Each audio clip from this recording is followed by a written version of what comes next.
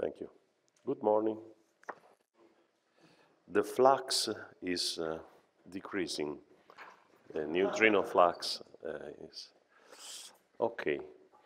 Uh, let's finish what we were seeing yesterday, uh, because uh, Professor Francesco Capozzi told me that he wanted to do something uh, similar, but there were problems with network. And so we were seeing what happens when uh,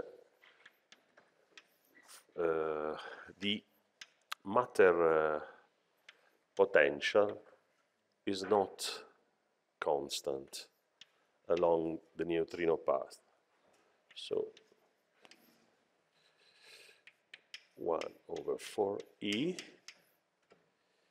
minus delta m squared matter minus 4i e d theta m dx minus 4i e d theta m dx delta m squared matter a e m a E mu m. Now imagine that these are the neutrino components. So when you have a generic state, you express it as a superposition of flavor eigenstate, and these are the components. You can call it also nu e and nu mu, typically, but are not the fields. And so these are related to the mass components by means of the U matrix. Now, when uh, the matter profile is constant, this uh, derivative is zero, so you have a diagonal matrix, a and so you have constant matter eigenstates. But if this is not constant, um, non-diagonal terms are related to oscillations between the two uh, mu and e neutrinos. At the resonance, you would have that this is equal to zero. So the oscillation probability is maximal, as we have seen yesterday. In general, if off-diagonal terms are very small compared to the one on the diagonal, the uh, mass eigenstate in matter, the instantaneous mass eigenstate, evolve adiabatically. So they uh, it's like uh, uh, you divide the path in many steps, and in each step you consider constant matter. And so you diagonalize the uh, Hamiltonian and you find delta m squared matter and theta m, the mixing angle in matter. If you consider, for instance, uh, let's see, the this is the the uh, electron density increasing toward the right and uh, you plot the mass eigenstates uh, squared. Let's put m 1 2 squared so that this delta m squared is the difference between these two typically you would find something like this. Let's say, so, sorry. At higher density, if you consider the formula that give uh, the mixing angle in matter as a function of the mixing angle in the um, vacuum, I don't know, maybe I can rewrite. We had, uh, uh, okay, where it is? Sine, sorry, sine 2 theta m equal to sine 2 theta divided square root cos 2 theta minus a divided delta m squared all squared plus sine squared 2 theta. And you consider the cos 2 theta m is equal to the same square root but cos into the numerator cos minus ACC delta m squared. So this is equal to this one. Now, when the density is very high, the potential is very high, so uh, you see this goes to zero, and uh, here um, you get uh, uh 1 or minus 1, depending on uh, the um, sign of A, the potential, and uh, uh, the delta m squared, this is positive, depending on the sign on the potential. So you have that the, the um, two, uh, cos theta to m goes to 1, for instance. And so uh, theta m to pi divided by 2. So if you consider the relation between the flavor and mass eigenstate, you will start, for instance, at higher density with nu 2. This is m2 squared in matter, and this is m1, m matter 1 squared. So if you have, for instance, in the uh, center of the sun, in the central region of the sun, high density, uh, neutrino, electron neutrino produced, this will be a nu 2 in matter. Then, when the density decreases, it will stay on this uh, curve here, and when the density goes to zero, when the neutrino is approaching the surface of the sun, it, it will be still an instantaneous eigenstate or uh, mass eigenstate, but now with a vacuum, uh, with a mm, mixing angle different from the beginning, where it was pi over 2. In this case, the propagation is called adiabatic. When the two mass eigenstates are near, there is a probability of uh, going from one to the other. This probability depends on, the, on this difference, on an exponential in this difference.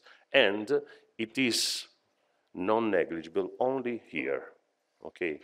Now, in the uh, actual case of solar neutrinos, we know that uh, this is the case of adi adiabatic propagation.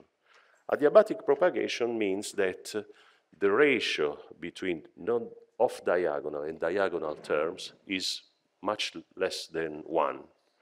And in particular, if you put uh, the value for uh, the mass and uh, the mixing angle, this condition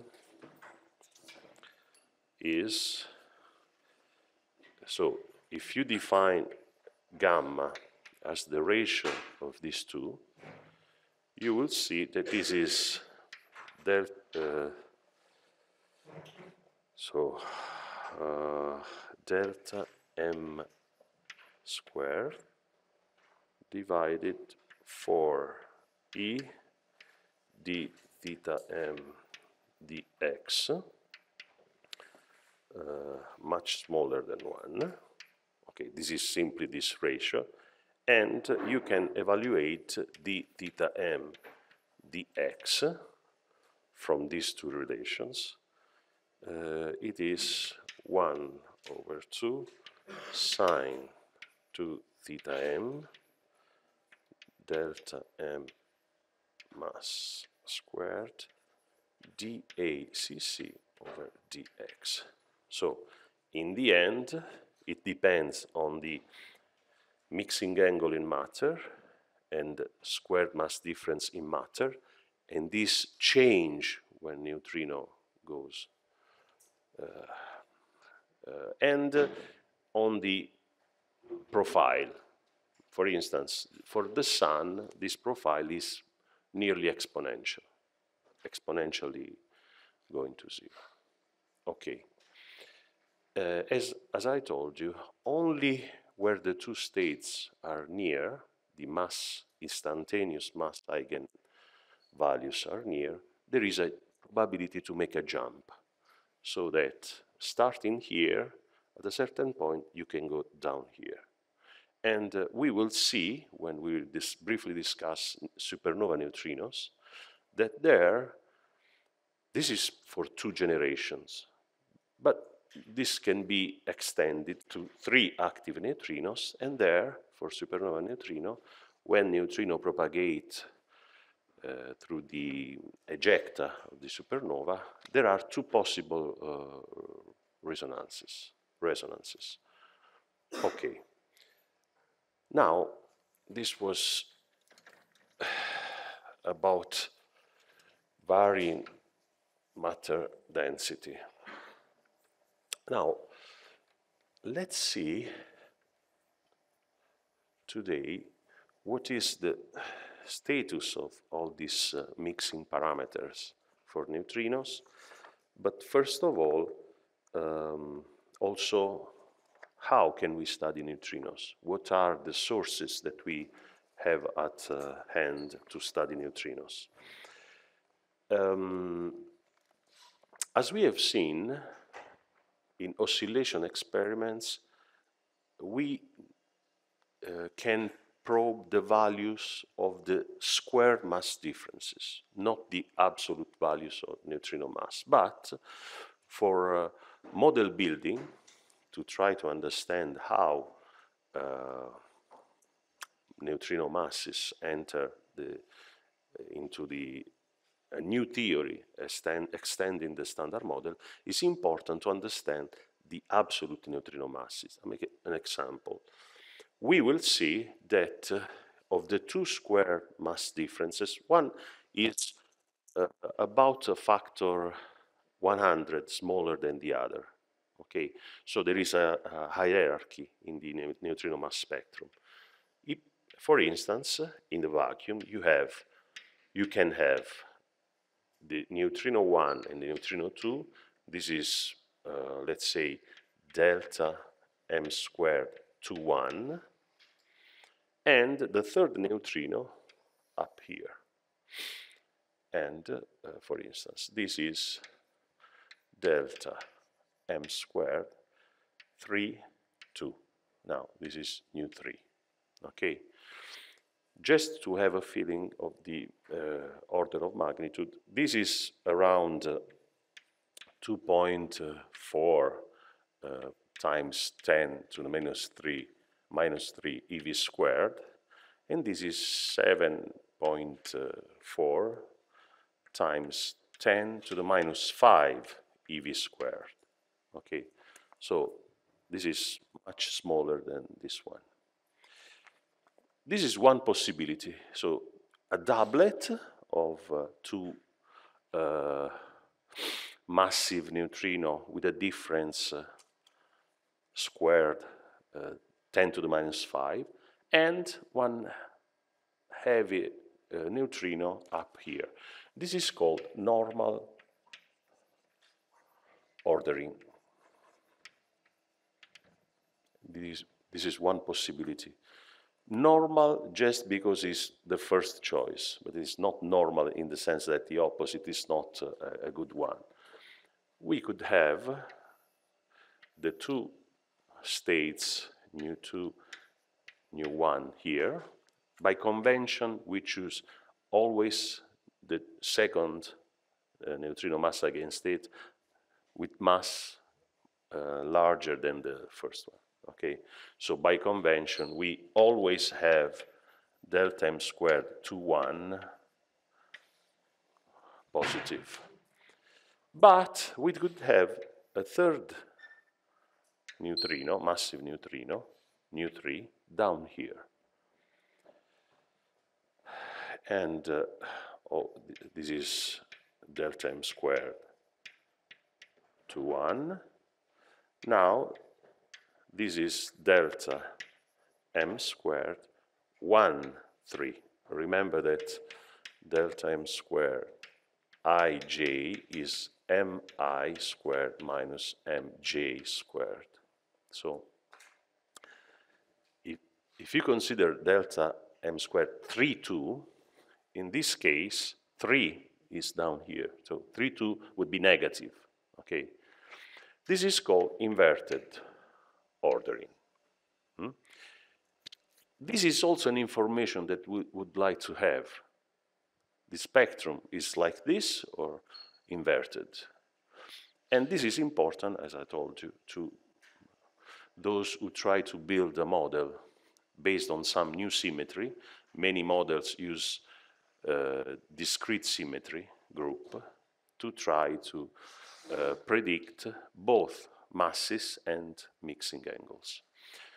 So in general, we would like to know the three mixing angles, theta 1, 2, theta 1, 3, theta 2, 3, the two squared mass differences, but uh, there are many, there are, this, this is one way to call the squared mass difference, but we always choose another way. So we call this doublet here, the square mass difference, the small delta m squared, because it's small with respect to the other, while we define this. So we take the mean value between m1 squared and m2 squared and define the large delta m squared as, in the case of normal ordering, m3 squared minus the half sum so this distance here. If you consider the same thing here in inverted ordering, you only need to take minus delta m squared. So with this definition, you distinguish the two cases only by changing this delta m squared into minus delta m squared.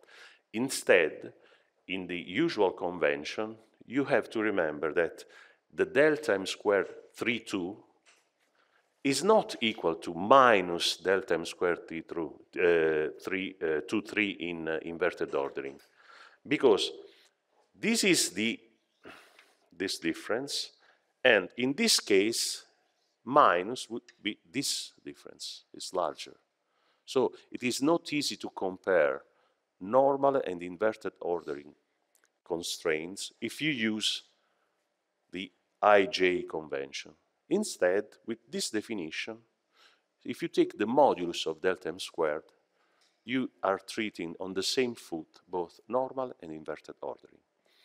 So typically I will use delta as the large delta m squared and delta small, this one, and this can be positive or negative, okay? And positive is for normal ordering, and negative is for inverted ordering. So we have the 2 delta m squared. Let's put it here. Then we have the phase delta. This phase is connected to processes violating CP in neutrino physics. And then we want to know the ordering, the mass ordering.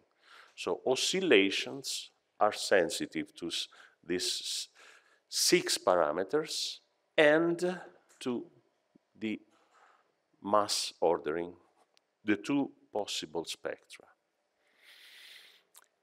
There are other kind of experiments, as we will see, direct measurement of neutrino masses that are also sensitive to the values M1, M2, and M3. Okay, so while oscillations are only sensitive to mass differences, squared mass differences, there, there are uh, ex experiments sensitive to the absolute mass spectrum. In particular, also uh, data from cosmology and astrophysics are sensitive actually, as we will see, cosmology is sensitive to the sum of neutrino masses. Okay, this is cosmology. Let, let's say cosmology and meaning uh, also large-scale structure surveys and so on. While we will see neutrinoless double beta decay experiment and beta decay experiment are sensitive to, in principle, to the masses, but also this one, to the two Majorana phases. The two Majorana phases do not enter in oscillation formulas, so oscillation experiment cannot tell anything about these two phases, but neutrinoless double beta decay, in principle, could give us some information. Now, let's uh, see how we can have information on uh, this uh, neutrinos. So, uh, I don't know, maybe it's better that then we have a look directly to the plot, but imagine just to have, uh, here I plot uh, the neutrino flux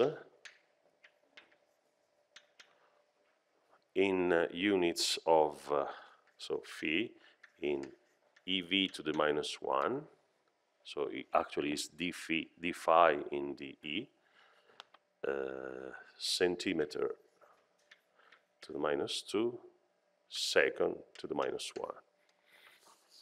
And uh, here the neutrino energy. Put up here 10 to 18 and then down here 10 to the minus 36. Okay, this is the range for the fluxes. So uh, more than, uh, I don't know, 54 order of magnitudes. Then the neutrino energy can be as low as 10 to the minus 6, let's say electron volt, and 10 to 18. So it is impressive. Imagine uh, this is not the flux, but it's just uh, to, to put some. Uh, so we have here the uh, cosmic neutrino background, no? the relic neutrinos from the early universe. And uh, here we have very high energy neutrinos, for instance, the one that uh, IceCube measures, or the cosmogenic neutrinos. And uh, now I will try to put then the, the plot. Going from lower to higher energy, we will find here BBN, Big Bang nucleosynthesis neutrino, uh, then solar neutrino, then uh, geoneutrinos, uh, okay, there are also reactor neutrinos, so neutrino, neutrinos producing nuclear power plants. Obviously, the total flux is irrelevant, but uh, if you are near the, the core, the flux is uh, the most intense one. Just with respect to energy. And then we will have the diffuse supernova neutrino background and a large range of atmospheric neutrinos. Uh, also here, supernova neutrino. So the, let me write here.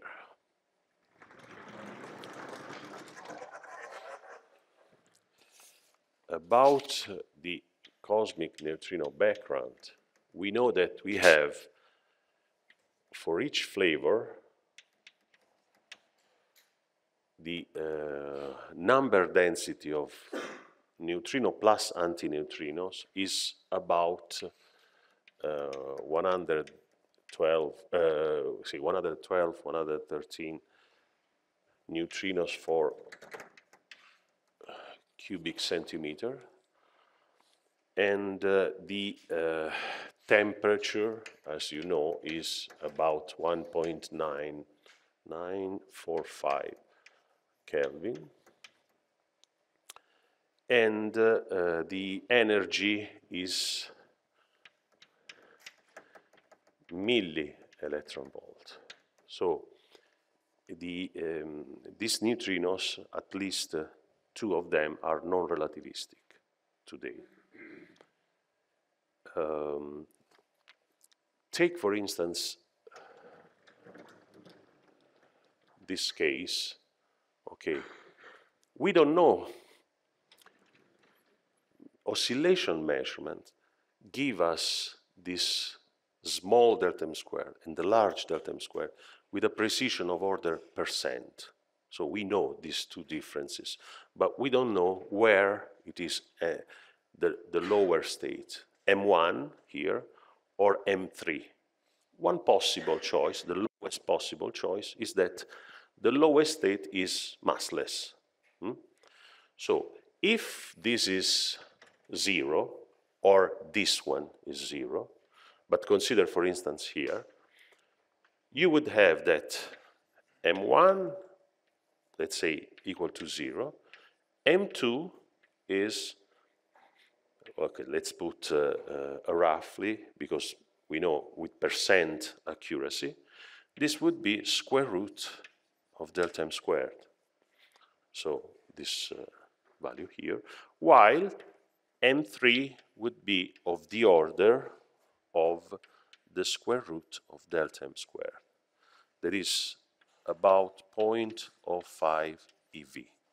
Okay, this is the lowest possible case because here this uh, m1 is zero.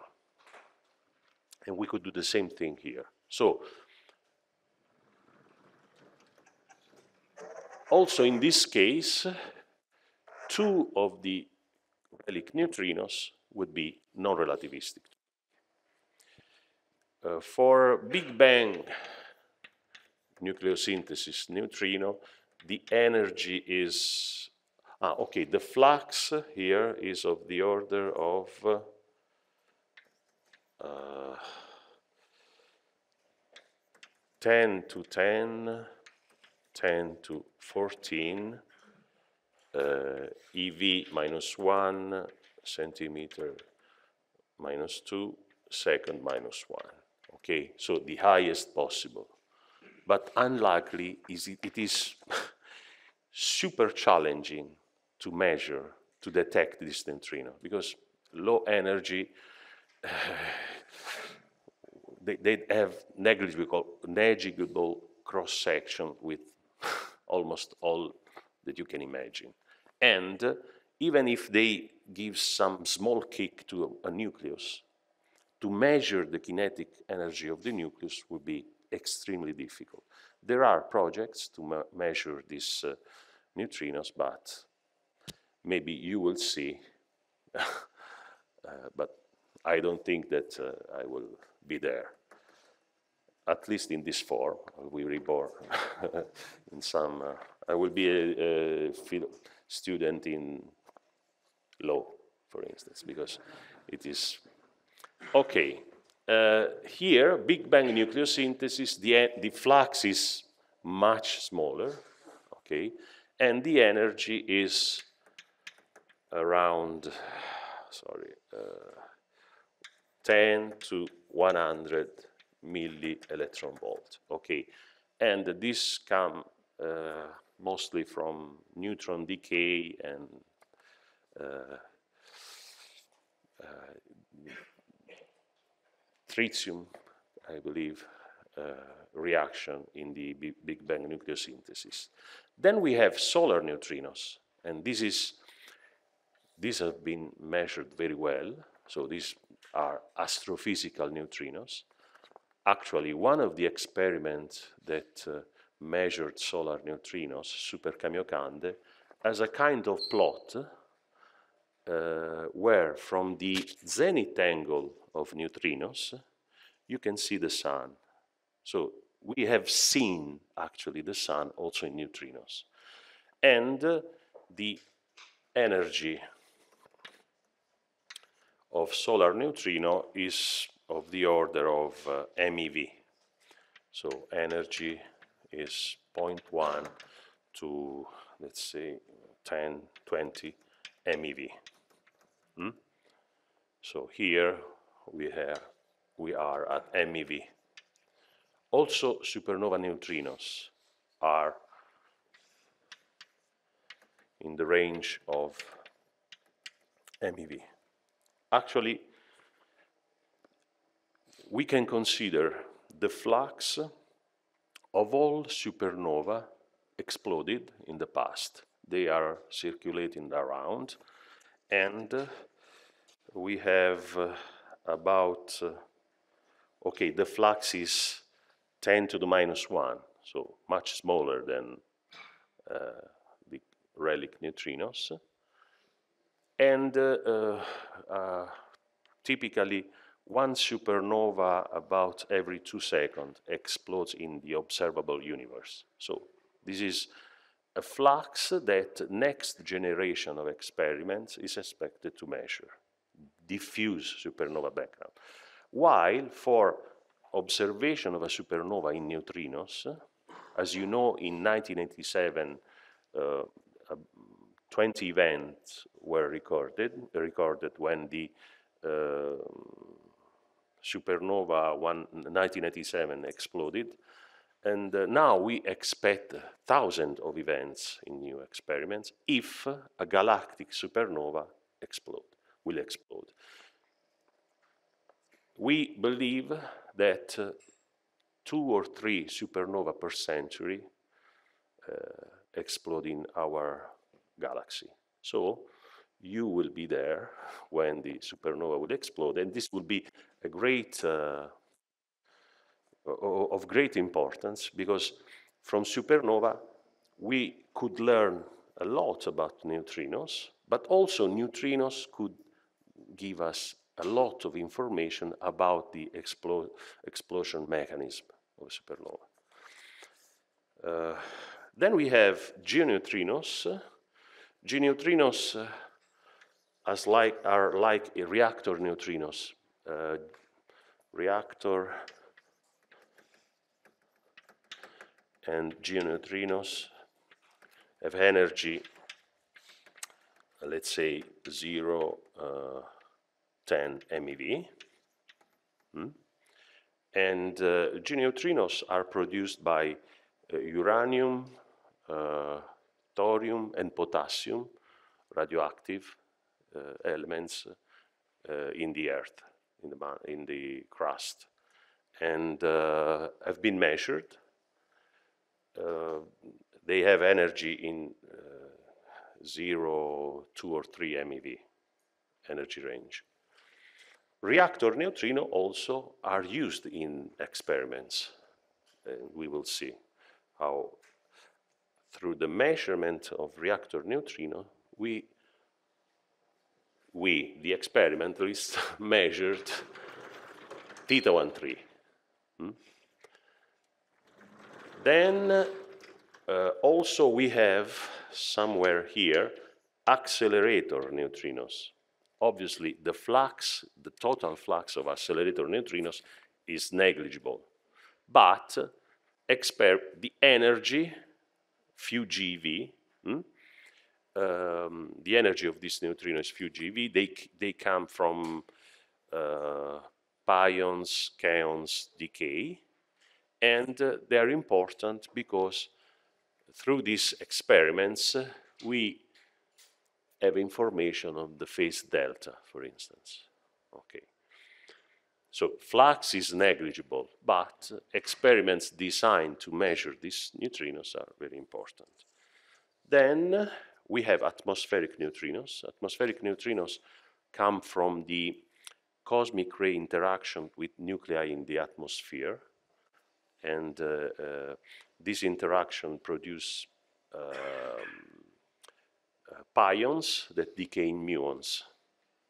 pions and muons decay in neutrinos. And uh, the energy, the, the, um, uh, the flux um, as um, behaves more or less like the primary cosmic ray flux. And uh, um, energy goes from, uh, let's say, hundreds of MeV to 10 to 3, 4 GeV. Then we have these very high cosmic rays that come from very high uh, very high energy neutrinos that come from very high energy cosmic rays, and in this case they are called cosmogenic, uh, or from uh, decays of a particle produced in uh, active uh, galactic nuclei, these extreme sources of very high energy. Okay, uh, I will, when we start the next hour, I will uh, show these GUNS, it's not Guns and Roses, but it's grand unified neutrino source. Okay, and uh, it is impressive how many order of magnitudes you have in energy and in flux. Okay, now this huge energy range means that you need completely different experimental techniques to detect these neutrinos because any different energy range means different cross-section that are relevant to detect this neutrino, and also detection technique completely different. So the uh, community of uh, neutrino experimentalists is uh, so many, um, okay, has a lot of, uh, um, how to say, must be extremely, uh, oh, I don't know, people expert in accelerator physics or in bolometers or in Cherenkov detector and so on. So there, there are a lot of experimental techniques. Now, um, through all these neutrino, we want to have informations about this six-dimensional parameter space plus the mass ordering and also uh, in combination with uh, other experiments about the absolute neutrino masses and the Majorana phases. This is our program. Now, 20, uh, let's say 30 years ago, there was still a doubt if oscillation were a true phenomenon or not. While today, we have a good measurement of all uh, the para oscillation parameter, possibly with the exception of delta, um, and uh, obviously the, the, sign of the delta m squared, so the, the mass ordering, and uh, some doubts about the octant of theta 2, 3. Um, these parameters are usually named this way. Okay, we call these solar parameters because solar neutrino experiments were important to measure this uh, couple of parameters. And uh, we call these as the atmospheric parameters.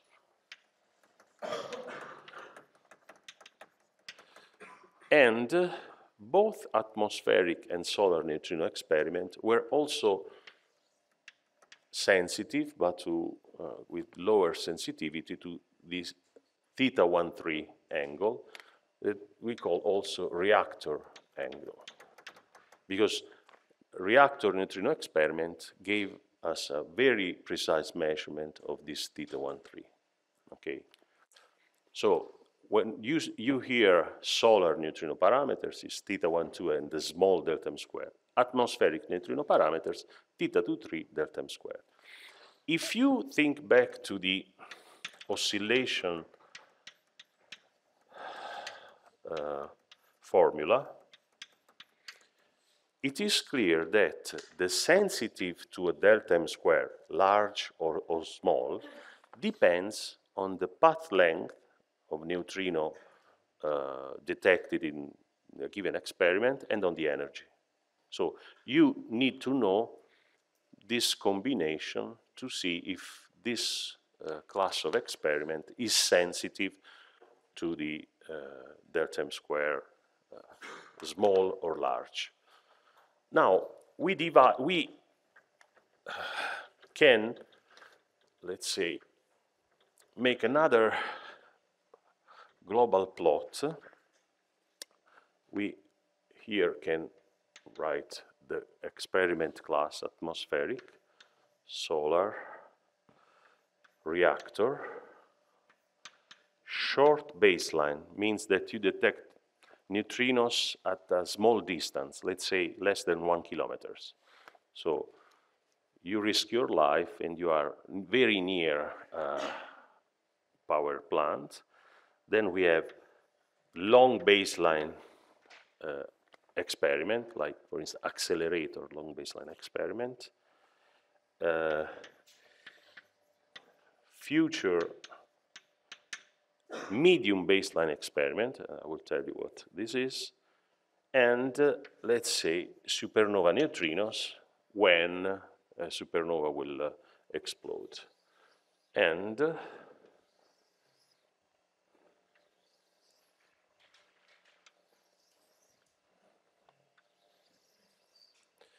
let's put here the parameters. So delta m squared, the large delta m squared, theta 2, 3, theta 1, 3, theta 1, 2, small delta m squared, delta, and uh, the mass ordering. Okay?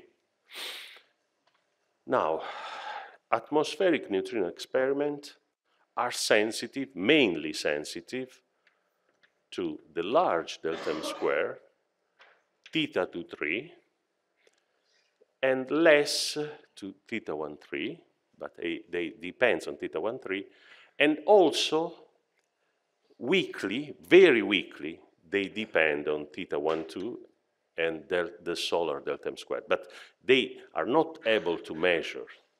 But the oscillation probability that you should use if you want to uh, analyze the atmospheric neutrino data depends on the solar parameters. They have some uh, also dependence on delta, so they are able to say something on delta, and also sensitive to the mass ordering, okay? Solar neutrino experiment, as I said, depends on these two parameters, the solar parameters, so theta 1, 2, delta squared, the small. So when I was young, uh, we studied atmospheric neutrinos, for instance, in a two-generation approximation. And so these two parameters were the only parameters. But we started to, to use also theta 1, 3. So something beyond the two neutrino approximation. Also, you can study solar neutrinos in the two neutrino uh, generation approximation, and the solution is quite good, the solution to the solar uh, neutrino deficit, but today we know that this angle is not zero, so you need a full three generation description of the experiment.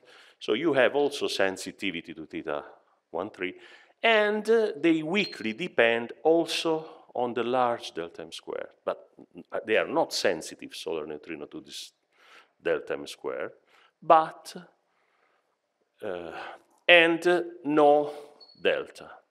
They are not sensitive to delta. And uh, no sensitivity to the mass ordering. Okay, maybe I should stop there. and uh, we, we start again. Yes.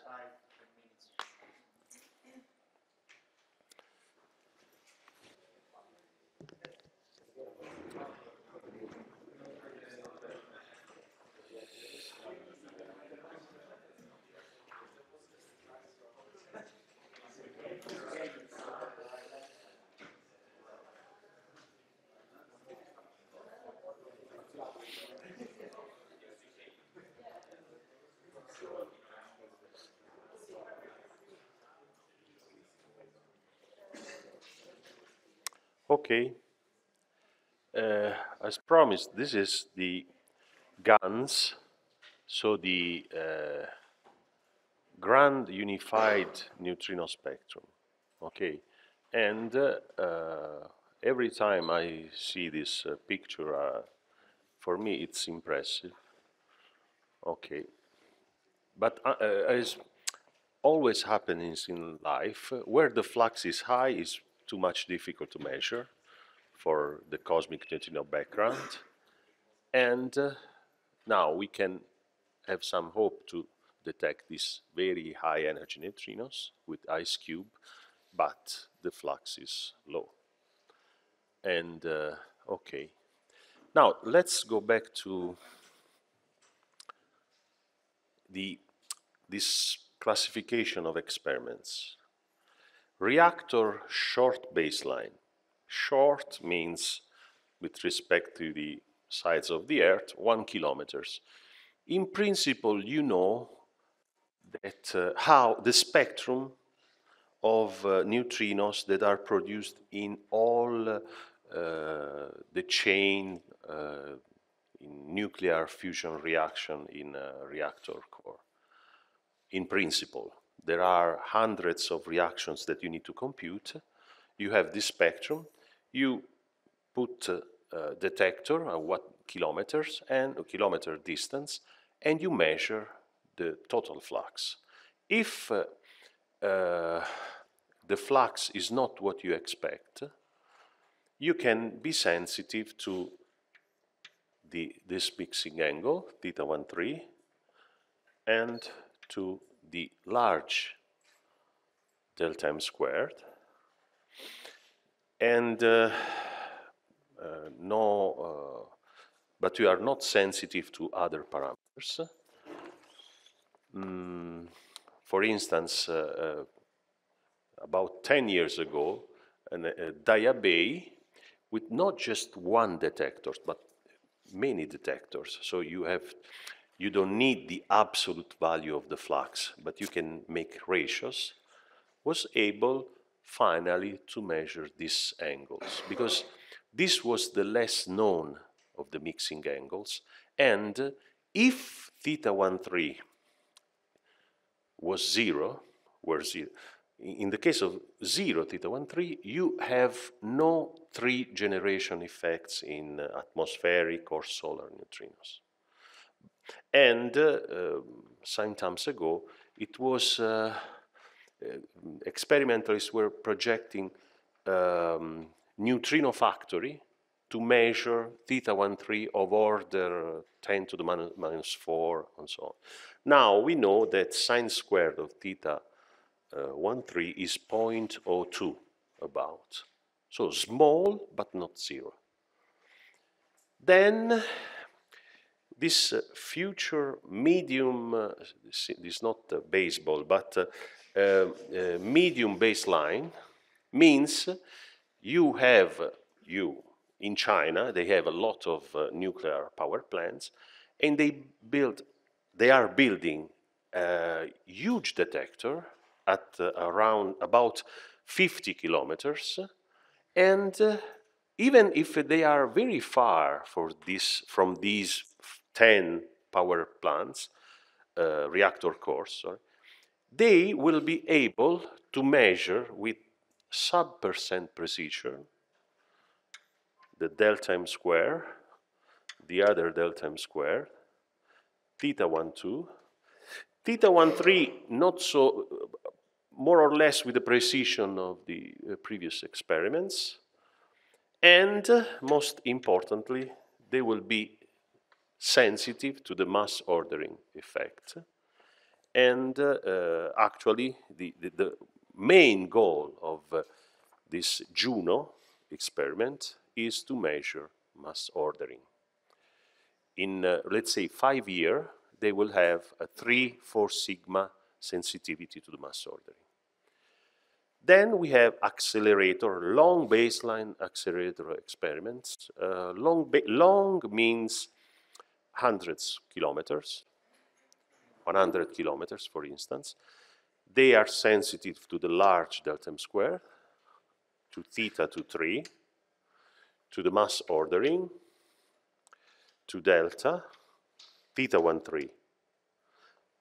But they need as an input theta 1, 2, and the, so the solar parameters. Not able to measure the solar parameters, but the oscillation probability depends in a subleading way from the uh, parameters.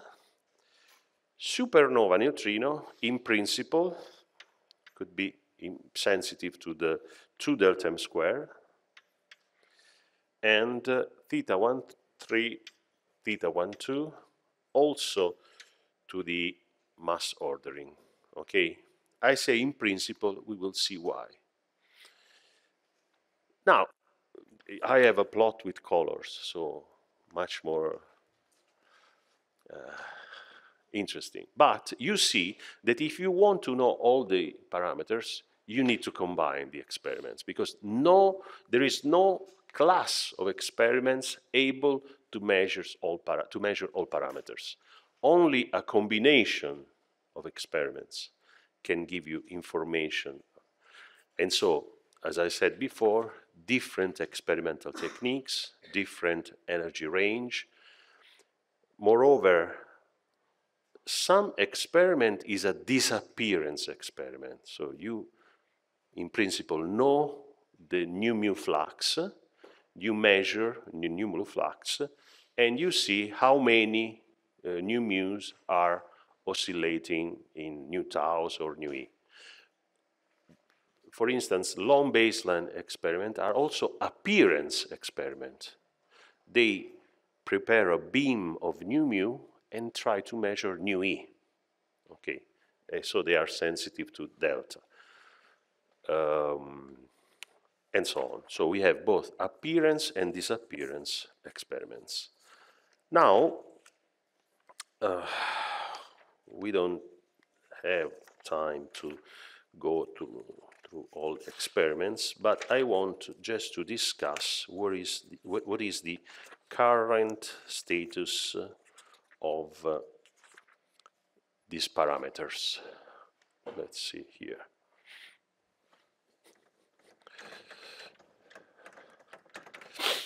So in principle, when you combine different experiments, you, should also take into account correlations between different experiments. This is nearly impossible. But if you take a class of experiment, there you can do something to take into account correlations between, for instance, solar experiments or reactor neutrino experiments and so on. Now, typically, the uh, result of the analysis can be shown in uh, plots like this.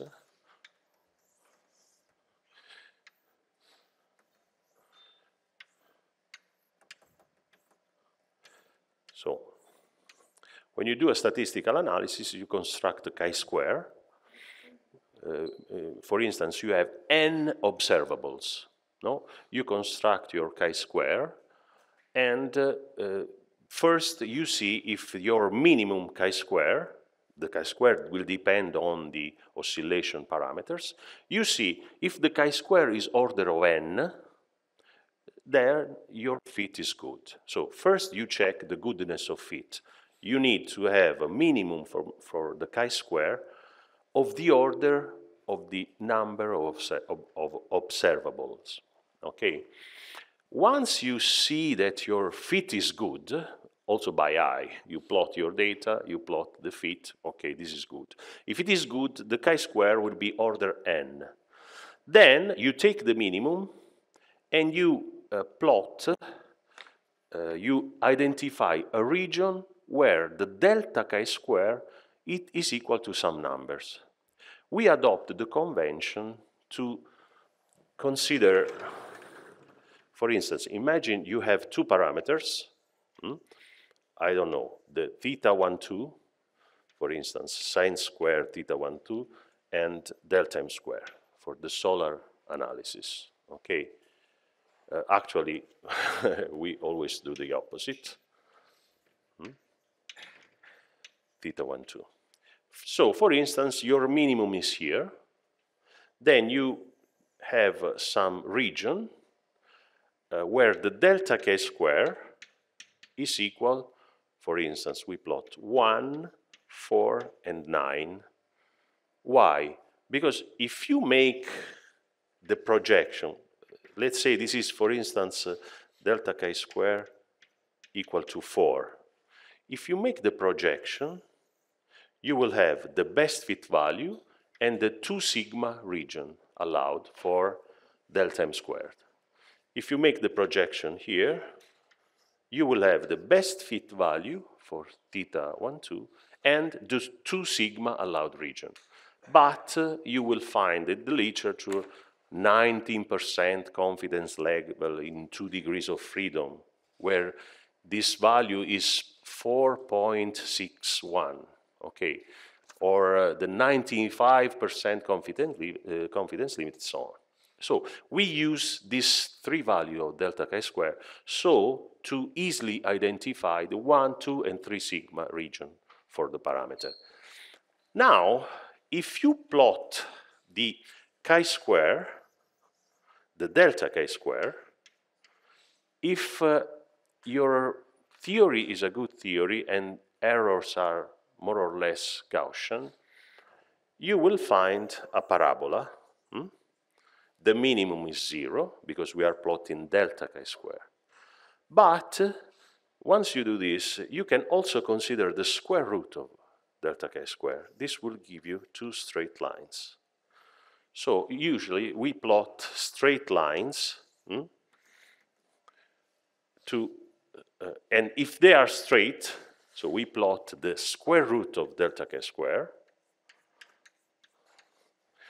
If there is no strange thing happening, you will have two straight lines. Now, uh, if we consider the um, uh, mixing angle and, uh, for instance, the two delta m squared, let's say delta m squared solar, delta m squared uh, atmospheric, the delta in units of pi. Remember that delta is in the 0 to pi region uh, interval. Then the mixing angle, sine square theta 1, 2 sine square theta, uh, let's say 1, 3, sine square theta 2, 3. Okay, we have straight lines for the two delta m square. This means that we uh, have a good fit for this, uh, let's say here you can put one, two, three, so this is the one sigma region, two sigma region, three sigma region, etc. Now, uh, for the delta, solar delta m square, where is, okay, here, we have 2.3% error. So one sigma error the, on the solar parameters is 2 0.3%, so very good. For the uh, atmospheric um, delta m squared, let's say the modulus, because we want to see the value of delta m squared, but still we don't know the uh, mass ordering. The precision is 1.1%. In principle, this number change if you assume normal ordering or inverted ordering, but uh, does not change much. So this is the best known parameters, and its measure comes from comes from reactor, short baseline experiment, long baseline experiment, and atmospheric experiment. This was the first one. But uh, the reactor neutrino experiment now uh, gave, uh, give a, a, much, not much better, but a better measurement. Uh, and this, the accelerator, long baseline accelerator neutrino, give a competitive measurement of delta m squared. So all in all, 1.1%.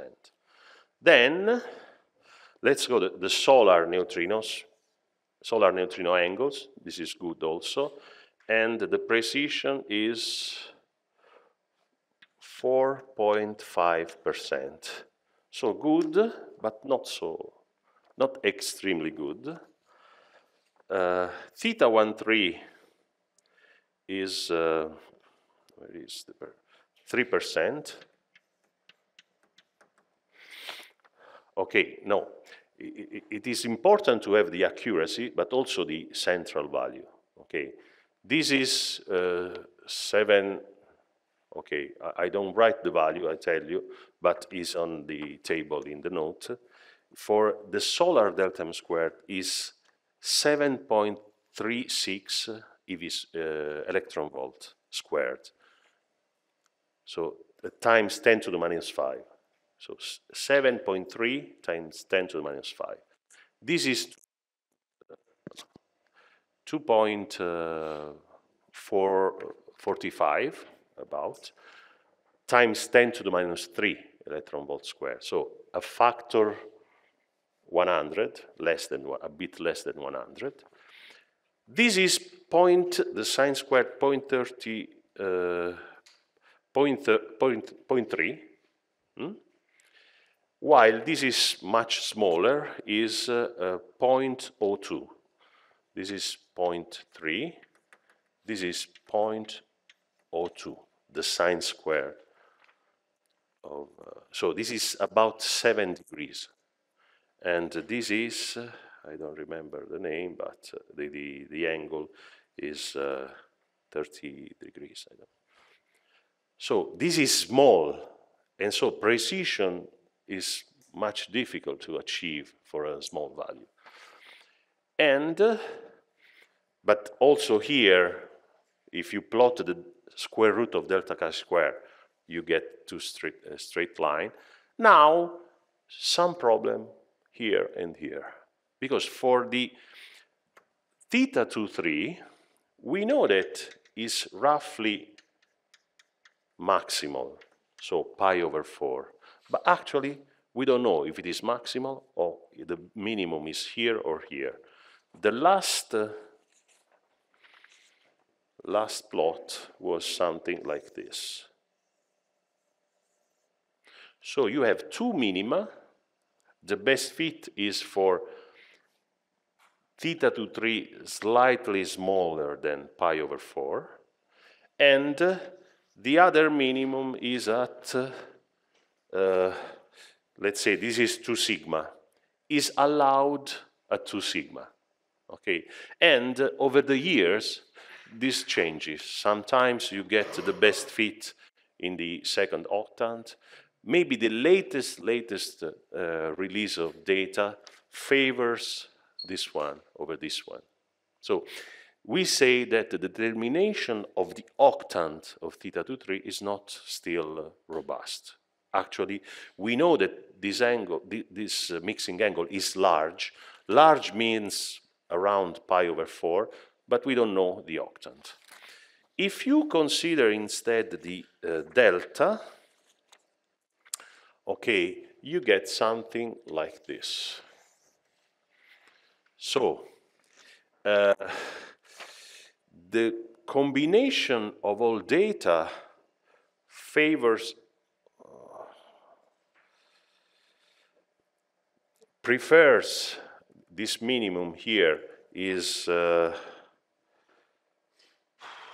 is between 1 and 1.5 okay now if delta is equal to pi, sine delta is equal to zero, there is no CP violation.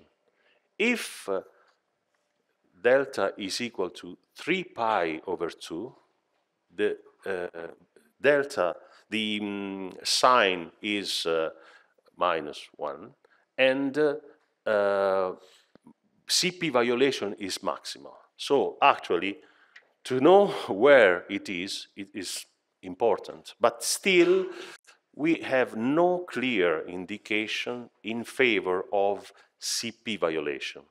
The problem is that there are two experiments here. One is T2K in Japan, uh, and the other is NOVA in, uh, in the United States, that are not so much in agreement. And so there is a tension between these two experiments. And while a few years ago 3 pi over 2 was favored, now this uh, is uncertain. Okay? Now, I, I, I shown here only one curve. This is, for instance, for normal ordering or for inverted ordering. What if I show both normal and inverted ordering? Okay, I have to check what ordering gives me the best fit, and today the best fit is for normal ordering, while for inverted ordering there is a delta chi square about 6.5. So present global analysis prefer normal ordering and at a level between 2, 3 sigma with respect to inverted ordering, you can plot also here the corresponding curves for inverted ordering and you can choose if you want to show the difference. For instance, I don't know, uh, you can have some plot like this.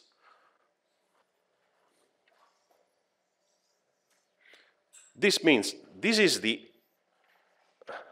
this should be square root of 6.5. This tells you that normal ordering is best, better than inverted ordering. This is the square root of the difference in chi-square of the minima. And for instance, the octant can also flip, going from one order to the other. So uh, with respect to theta 2 3 and delta, things are still not so clear. While the 2 delta m square, the atmospheric and the solar mixing angle, and also the reactor angle, theta 1, 3, we can say they are very well known. Okay? Uh, actually, I can show you we have discussed this plot. no, this is not true. This is the present global analysis. You see, good, okay, when you show the other ordering, you don't get straight lines, but this is just uh, something related to the plots. But this is the difference. You see that normal ordering at 2.5 sigma, sigma is better than inverted ordering. Uh, these four parameters are, are well known, while here you have still some uh, doubt about the um, octant, and you see if inverter order was, were the correct one, the preferred value for delta is 3 pi over 2, so maximal CP violation. While in normal ordering, Eh, okay, you are in between 1, so delta equal to pi, no CP violation. Delta equal to 0 or pi is no CP violation. Delta equal to pi over 2, so 0.5 or 1.5, there is maximal CP violation. Okay, this is what you get if you consider all the parameter space and you marginalize you want to know the bounds on theta 1, 3, you marginalize over all the other parameters. But you can also consider correlations between parameters, okay? And combining different experiments, okay? And, uh, but this is, we don't have the time to discuss this. Well, this plot is the plot that shows the uh, disagreement, let's say, or the tension between the T2K and NOVA experiments. T2K and NOVA both measure neutrinos and antineutrinos. They produce, through magnets, a flux of nu mu or anti-nu mu. And in the far detector, uh, actually the distance in NOVA is larger than in T2K. Uh, in the far detector, NOVA maybe 750 kilometers, I, something like this, they reveal the nu mu and the nu e. So both have disappearance and appearance. If you plot the new expected rate and the measured value, or anti-nu mu in various combination, and uh, uh, blue is for normal ordering, and red inverter ordering, and uh, this star or circle corresponds to some value for delta. Okay, we don't have time to, to see actually uh, in detail this plot, but if you have 10 minutes and reflect, you see that you have some uh, incompa incompatible uh, indication from the two experiments. So when you combine two things that are not in agreement, you always get a minimum in the chi-square. But this solution is not so good, okay? So even if, even if when we combine the two experiments, we get some minimum for, for, for, delta, there is tension in the two, uh, between the two experiments. And this reflects in the fact that still we don't know delta very well.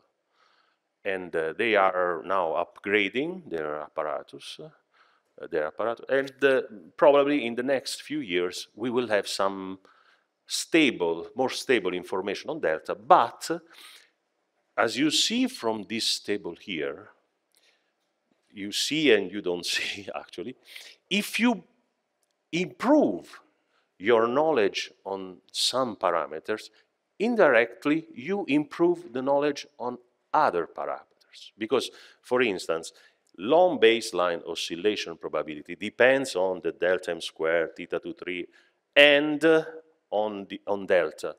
By improving the measurement of the other parameters, as for instance JUNO will do in the next 10 years, you will uh, indirectly improve your bounds on delta and on the mass ordering. So there are a lot of correlations between these uh, uh, observables in the six-dimensional parameters space. Six-dimensional times two, because you have normal and inverted ordering. Okay, now uh, this is for oscillation, okay? What about the absolute neutrino masses? There are uh, another two classes of experiments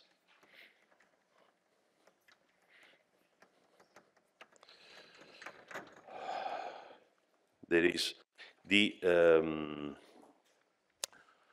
so direct what do you call measurements.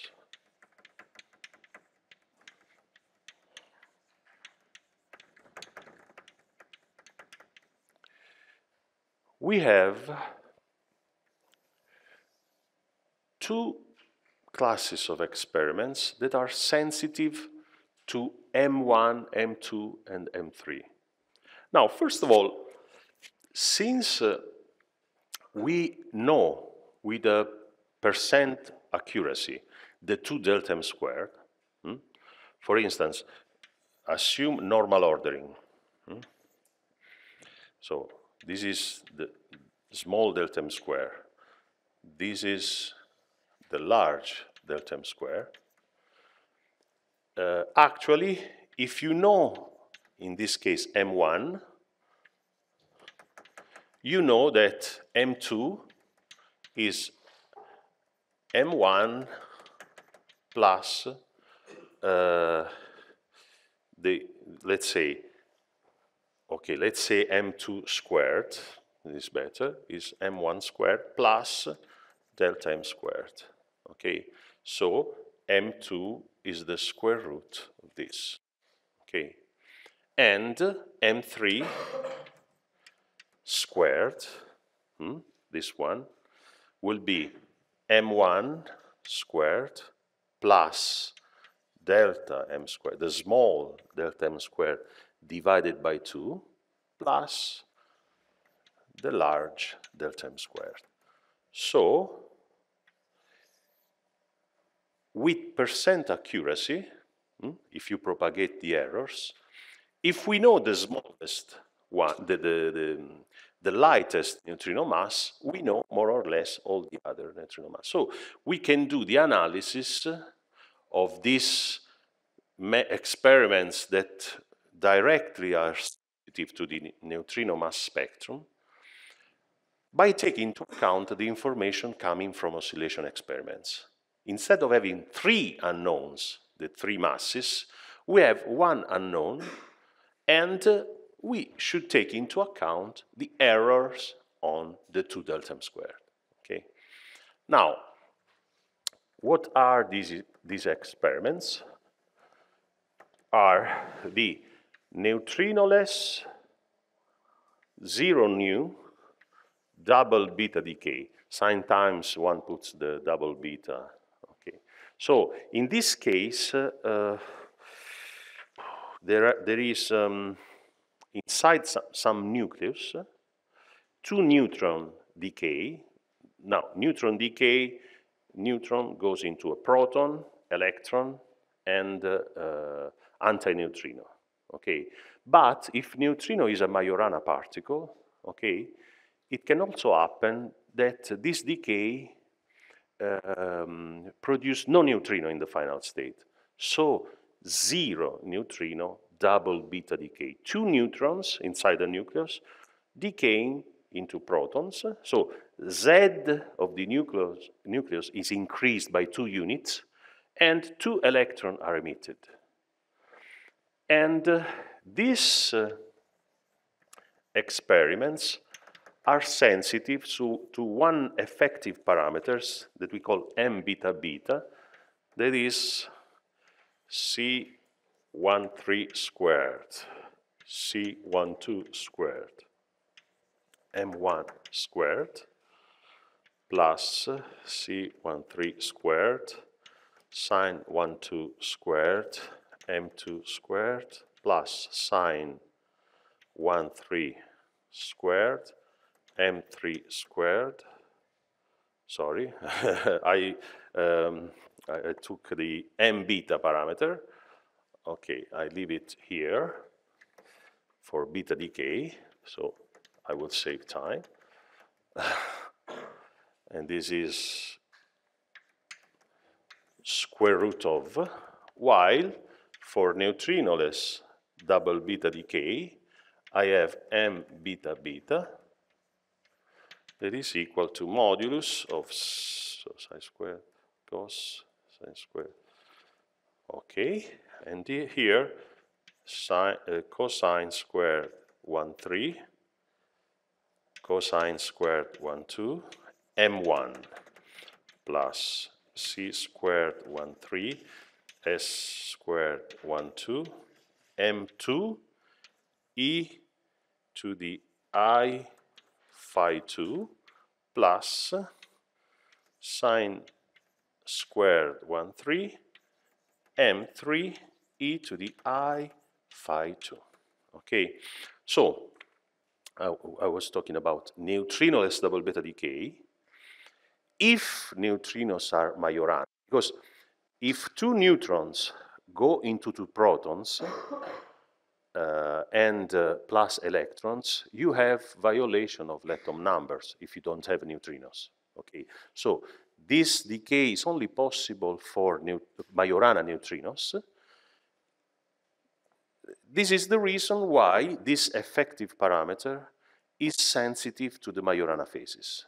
So this is a complex number that you take the modulus and depends on the absolute masses.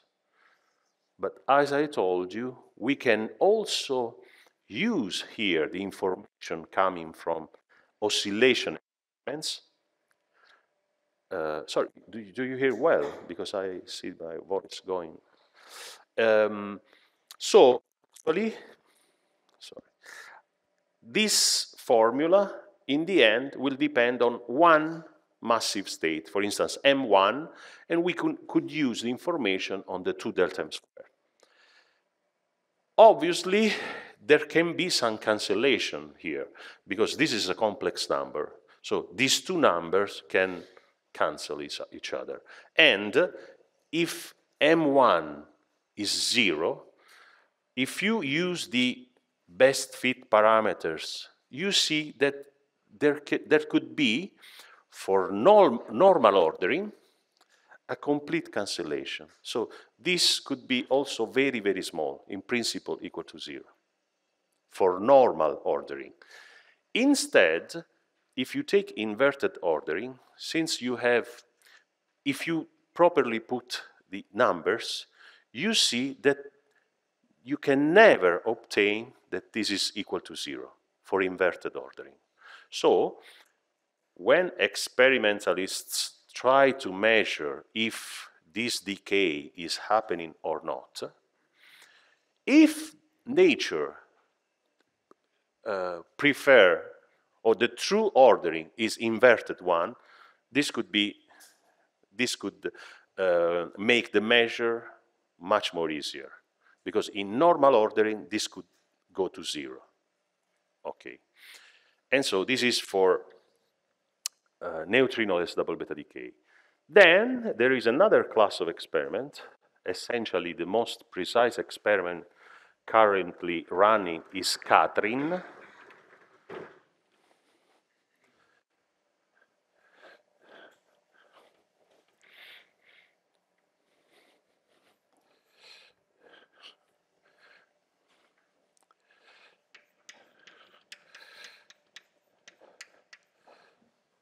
So uh, uh, experiments are lucky because they can uh, always choose some good names for their experiment. It's much more difficult for you theorists to choose a, a, a good name for a theory.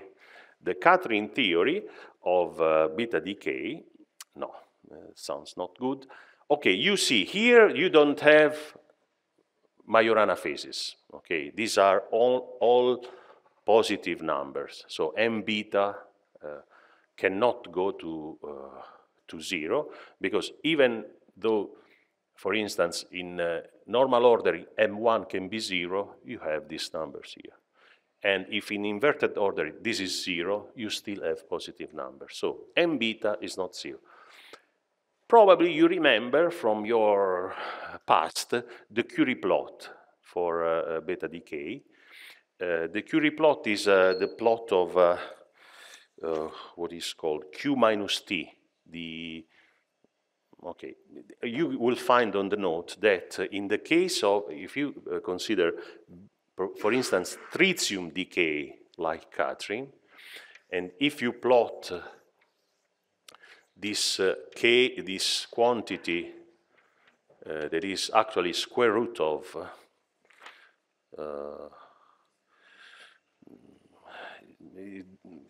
okay, this depends on the square root of the Q value minus the kinetic energy of the electron. This, for massless neutrino, gives you uh, a straight line, okay? While if the neutrino are massive, and you, we know that this is true, there is a small deviation in the end of the spectrum. Okay, this depends here on the energy of uh, the um, kinetic energy, typically in keV, of the electron. okay? And uh, if you go and measure this part of the spectrum, this is very difficult because you need an extremely accurate energy resolution. Uh, I um, tell you, go and see and look on the web for the KATRIN spectrometer. I don't know if you ever uh, saw this. It's a huge spectrometer, and when they uh, in, during the transportation, when it was going into a street, uh, uh, was impressive. They need, uh, need such a, a spectrometer to measure extremely well in the end of the spectrum the electron energy to be sensitive to the small differences. Okay this one. I made this plot with the m nu e 0.5 electron volt. Actually this is excluded by now but it was only to show the effect, okay? Two electron volt uh, is uh, also excluded. And uh, so, but through beta decay experiment, KATRIN will reach sub-EV electron volt sensitivity. Now, M beta is 0.8 electron volt, I believe at 19% confidence level, the measurement of KATRIN. So if you have a bound on m beta, you have a bound on m1 in normal ordering or m3 in inverted, inverted ordering if you take into account the two delta m squared coming from oscillations. So in principle, you can also combine oscillation and non-oscillation result in a one super global analysis, and we miss another ingredient, that is uh, data came, coming from cosmology that are sensitive to the sum of neutrino masses. It, at present, they are not sensitive to, to the, the actual spectrum, okay? Um, both from CMB and large-scale structure measurements, you can uh, put bound on sigma. So we, what we do, we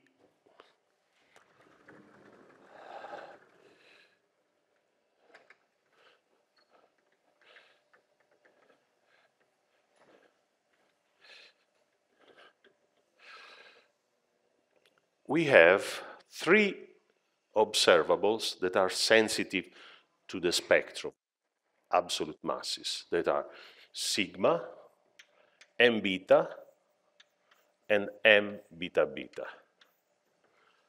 M beta beta actually depends also on Majorana phases, but at present we cannot say anything about Majorana phases. So we marginalize over, so we take all possible values of Majorana phases. And we can, the first thing that we can do is now sigma, the sum, let's see, that's right here.